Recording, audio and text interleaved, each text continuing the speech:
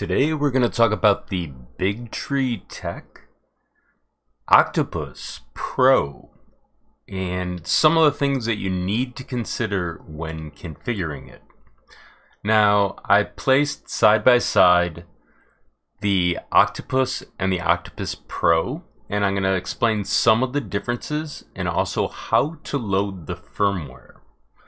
So to start with, there's a chip directly in the center that we call the MCU. Some people also call it the CPU. And so I'm going to have to zoom in on this to explain. So during the pandemic, we've had some issues with supply chain issues, which means that they've been substituting some of the MCUs with new ones. So I'm going to explain both scenarios and how to deal with them.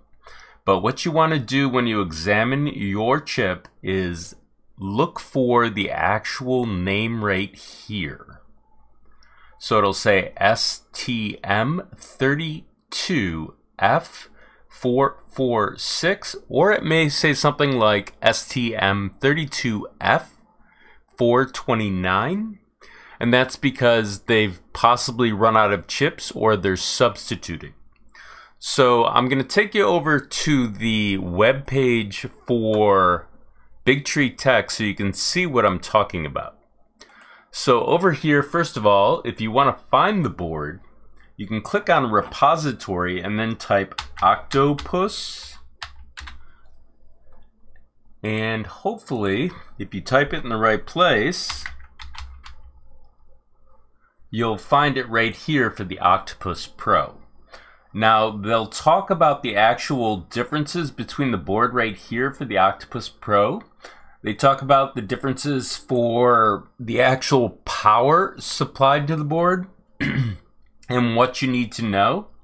So keep in mind that there are special jumpers that you'll have to configure for your configuration so that you do not destroy your special steppers being TMC 2209 the TMC 2130 or the TMC 5160.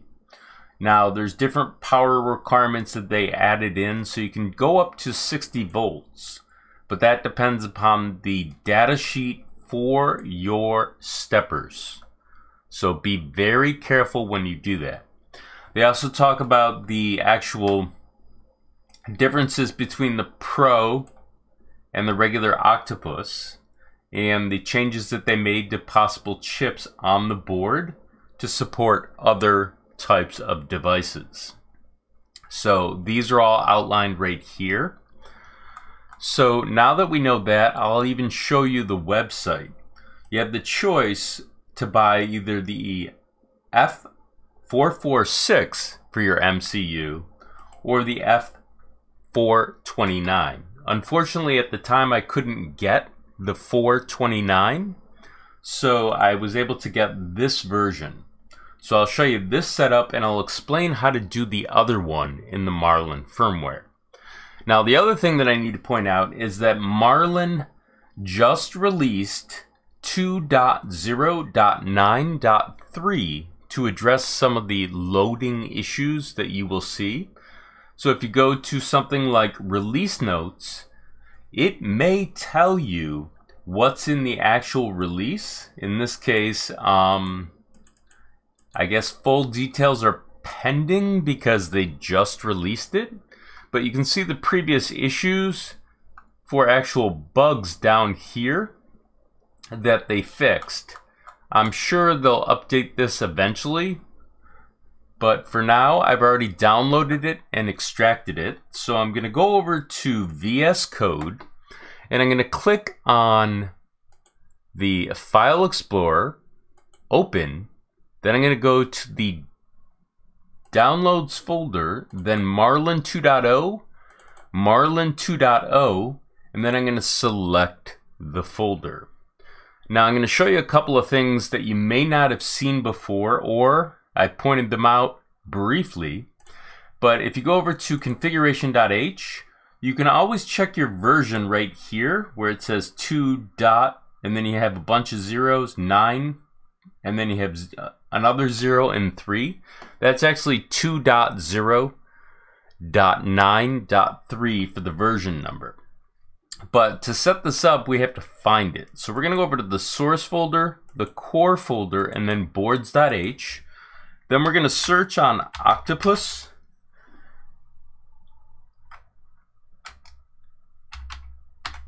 And what we should see are the options for the board. Now, as you can see, they talk about two different chipsets right here, so you have to be aware of that. But we're going to copy this for now. Then we're going to go over to the configuration.h file, and we're going to find the motherboard. So down here, currently it's the ramps. We're going to paste over that and give it our correct one. Then we're going to change the serial port to negative 1. Now there are multiple serial ports for different things, but I'm using this one for the board and it's defaulted to this baud rate. Now you can break it out to other ones, but I'm not going to go into that in this tutorial. I'm just going to show you how to build this. So now that we've got that configured, and we know that it's going to have a special chip, we have to go over to platformio.ini to set up our default environment. So in order to do that, you have to go over to the INI file or folder, and then you have to find the actual chipset, which is STM32F4. Then we're going to search on Octopus again. And when we search on the Octopus, we're going to search for the Pro. So let's see if we can find that right here. So what you can see is there's two options here. I would choose the first one always when I build. And in this case, this one says 429, so that's the chipset that we don't have. We have the other one. So if we scroll up a little, you'll see that there's a little comment right here that says Big Tree Tech Octopus, and then it has Octopus Pro. So this has the exact same chip set as the current Octopus. So we're going to copy this. Then we're going to go over to our platformio.ini. We're going to paste it over the Mega. And then we're going to hit the clean down here for the garbage can. After that is complete, we will then click the checkbox. Now, a couple of things I haven't said that I've covered before the initial tutorial on the board and the basics I'll put in the upper right hand corner right now. And there's also a tutorial in the playlist that's listed in here on how to load Marlin using the setup configuration that I'll outline with how to install VS Code with Platform IO. So those will both be in the playlist. If you don't see the playlist in Chrome, take it over to Firefox for the browser and then you'll be able to see the actual description of the tutorial. Chrome seems to have changed something. So I'm going to click the checkbox over here and this is going to take a moment to build. If it fails the first time, what you should do is hit the checkbox again because something may build out of order. In order to address that, you'll hit the checkbox again so it's already pre-built the first part. It will then be able to run through it. If it fails a third time, and you see a red description here instead of a yellow, that means there's a failure. And that would mean that you would need to correct that issue. So at the moment you can see over here that we have an actual build and I've showed you how to load this in previous tutorials in the basics and every other one. So I'm going to skip that today, but I'll show you where it's located. If you're in the Big Tree Tech Octopus folder and you go to source, then you go to right here, pardon me, it's actually Big Tree Tech. You have firmware.bin You'll copy this off by right clicking and then going to reveal in File Explorer. Inside File Explorer, what we'll need to do is go over to the desktop so I'll actually show you this. So on the workbench, I'm going to zoom out real quick. I'm going to grab the actual chip out of this board. I'm going to throw it into here for the SD card. And I'm going to plug this into the computer. Once I'm on the computer, on the desktop, I'll right click and I'll send it to my drive. But as you can see on this drive, currently it's firmware.cur. So when we send it to that drive, it will give us two of them. If it loads correctly, it'll rename itself to firmware.cur in all capital letters. So let's go over to the uh, workbench here for a second, pop this out. I'm gonna plug this in right here. And then I gotta find a cord to plug in there. So I think this is the correct one.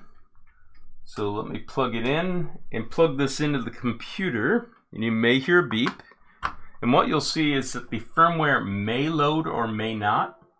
If it does not load, there may be a jumper that you have to move to direct USB power. This one's currently in that default position. But on this board, I believe if you take it out, it's regular power. So I'll show you on this board real quick. So that will make it direct power. You'll need to do that when running the actual power for your steppers. So let me pull this out for a second and show you. If I pull this out and plug this in, it won't power. So if you like my tutorial, please hit the like button and subscribe.